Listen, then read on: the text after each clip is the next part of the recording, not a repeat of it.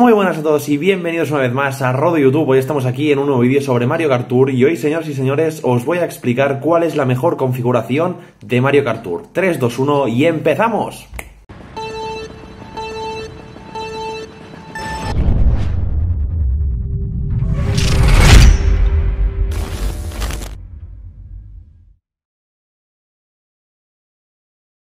Sí, señor, aquí estamos en Mario Kart Tour. Veis que estoy pelado de monedas y de rubíes, pero bueno, vámonos a ajustes.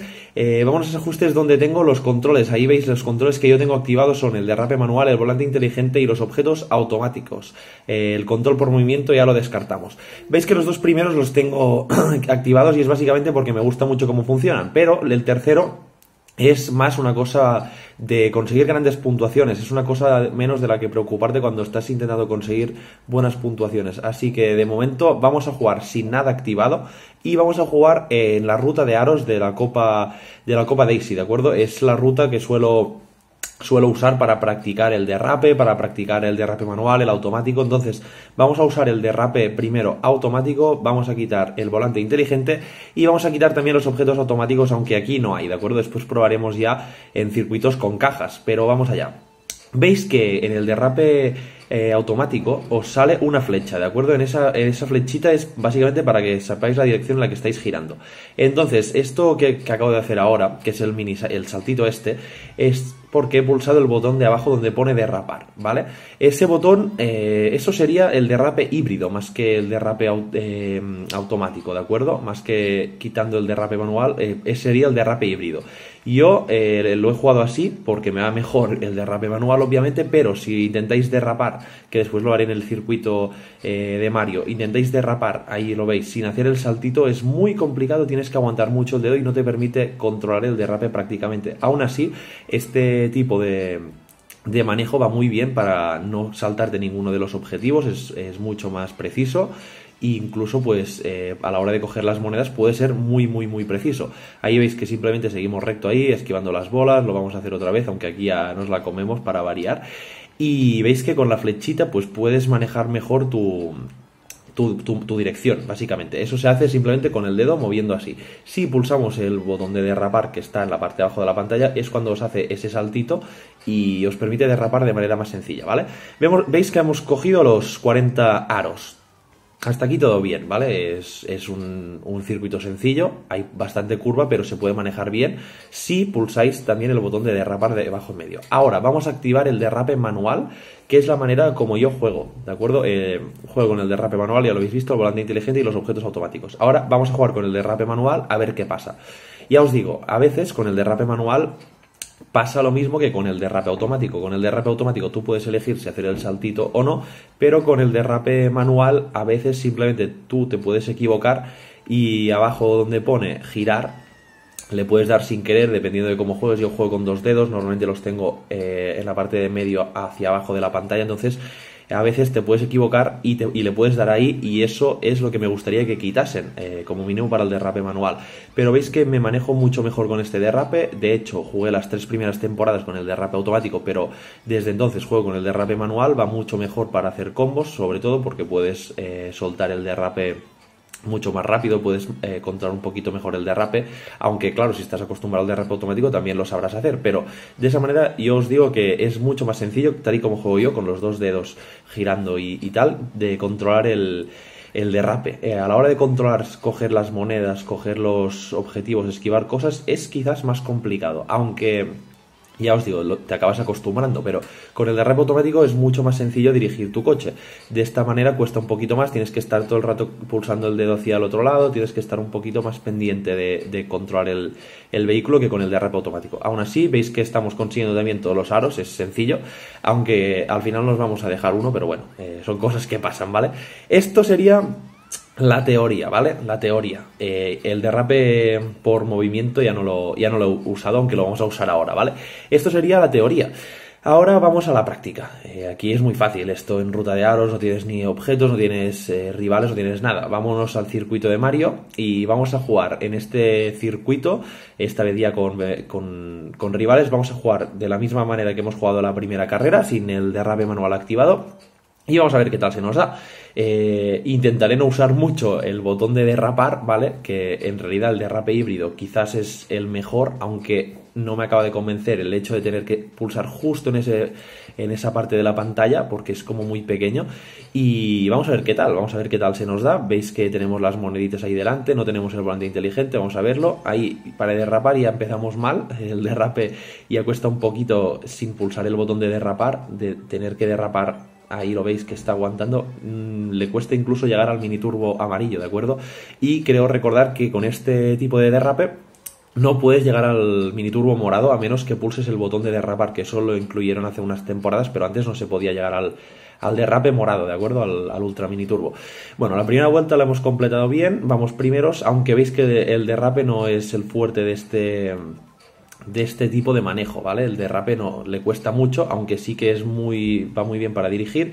El derrape no, no es lo mejor que tiene, eh, tiene mejores cosas, pero el derrape no, no es una de ellas. Veis que ahí incluso sin el volante inteligente se nos pierde el coche en la arena, ¿vale? Son cositas que, que pueden pasar. Pero bueno, vamos a completar ese, esa carrera en primera posición, una carrera sencilla, pero habéis visto un poquito que las fallas que tiene este manejo sin el botón de derrape, ¿vale? Con el botón de derrape sí que cambia mucho la cosa, pero con sin el botón de derrape eh, tiene algunas fallas a la hora de, derrapar solo con el dedo. Tienes que aguantar mucho, se va el coche bastante, no puedes manejar los objetos, eh, los objetos, las monedas, y ahí vamos a activar el derrape manual, el volante inteligente y los objetos automáticos. Así es como yo juego normalmente. Ya lo sabréis, los que estáis suscritos al canal, los que me conocéis desde hace más tiempo, ya sabréis cómo, cómo juego, habéis visto muchas carreras, incluso habéis estado jugando conmigo en el multijugador cuando hay multijugador.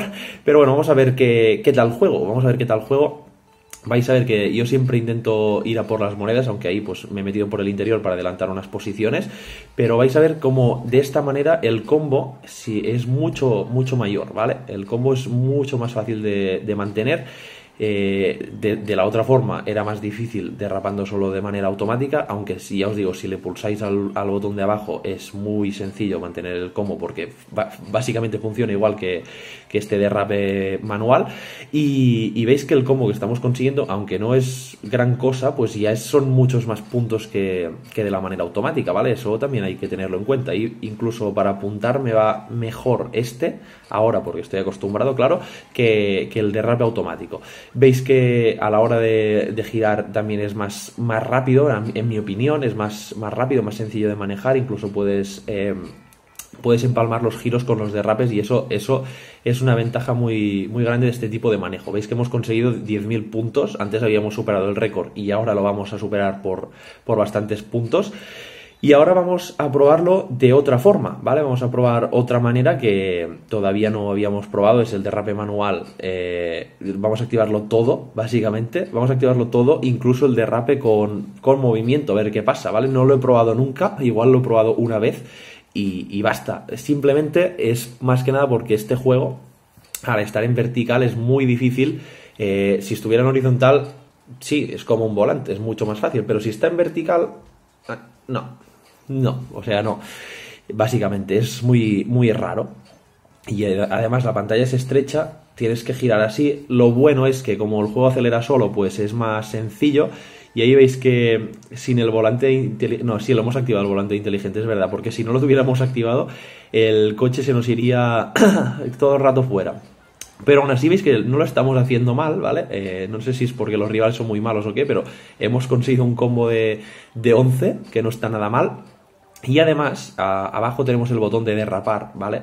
De manera que nosotros podríamos jugar con una mano girando y con la otra, si pulsamos, incluso podríamos girar y derrapar a la vez. Que eso es una cosa que, voy a probar más adelante para ver si funciona, pero ya os digo, es una, una cosa que se puede, que se puede hacer y que estaría, que estaría bien para la gente que simplemente no se le da bien el derrape, pues puedes jugar de esta manera y con el botón de derrapar ahí lo estoy haciendo, veis que que también funciona. Estoy girando así y pulsando el botón de derrapar con las dos manos, ¿vale? Se jugaría.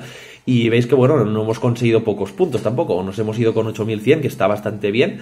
Y, Y mis opiniones sobre este tipo de conducción, bueno, al que le guste, perfecto. Yo lo tengo descartado, a mí no me funciona, pero seguro que habrá gente, eh, quizás gente no muy competitiva, no sé si la gente muy competitiva jugará de esta manera, igual sí, pero vamos a verlo. Ahora jugaremos de la misma forma y esta vez con el derrape automático, ¿de acuerdo? No debería cambiar mucho ya que pues no afecta en nada, simplemente eh, no estás derrapando tú, estás derrapando girando y, funciona igual de una manera que de la otra, pero por probar que, que no digan. De momento quemamos el motor, aunque me parece un poco raro porque lo he hecho como siempre. Y ahí veis que estoy pulsando el botón de derrapar. Cuesta mucho, ya habéis visto, que aunque hemos hecho un poquito de derrape, cuesta mucho de que funcione. ¿Vale? Cuesta mucho que funcione el derrape, eh, no se ponen las chispas amarillas prácticamente y, cuesta, cuesta lo suyo. Además, si no tuviéramos el volante inteligente activado, os digo que se iría el coche eh, a la arena todo el rato, ¿vale? Eh, ahí nos tocan unos buenos objetos, nos permiten pues adelantar varias posiciones, incluso vais a flipar porque acabo de hacer un pisotón de esta manera, cuando, cuando estaba el reto no había manera de hacerlo, si aquí lo hemos hecho con el derrape este así por movimiento, ¿vale? Con el giroscopio. Veis que cuesta más, se va bastante el coche, derrapa muy, hace derrapes muy largos, pero no se ponen las chispas amarillas tan rápidamente como con el derrape manual, que yo juego, os digo, con dos dedos, y cuando giro hacia un lado con el otro dedo acompaño, y de esa manera para mí creo que va mejor. Entonces, estas serían las maneras de, conducir en, Mario Kart Tour, ¿vale? Eh, personalmente, os digo, no hay mejor manera. La mejor manera es la que os vaya mejor a vosotros. Eh, visteis que Luis de Producciones May Music corre él con, el derrape híbrido y es un crack. Yo corro con el derrape manual, el volante inteligente y, los objetos automáticos activados. Entonces, señores, os recomiendo eh, probadlas todas y la que os guste más os la quedáis. Nada, chicos, esto es todo por hoy y nos vemos como siempre en el siguiente. Hasta la próxima. Adiós.